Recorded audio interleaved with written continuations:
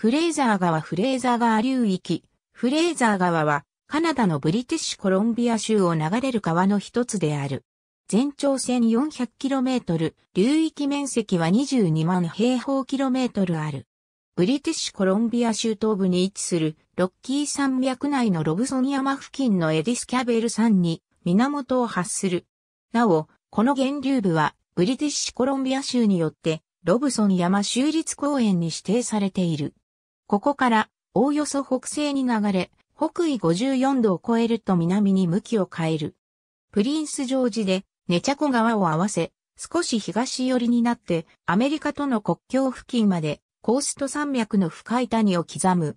西に向きを変えて、チリワックを流れ、大きな三角州を形成して、バンクーバー市南側でバンクーバー島との間のジョージア海峡へ注ぐ。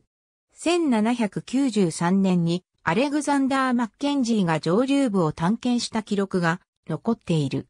1807年にはサイモン・フレーザーが源流までたどり、コロンビア川とつながっていないことが確かめられた。支流にはいくつか水力発電用のダムがあるが、本流にはダムは存在しない。ありがとうございます。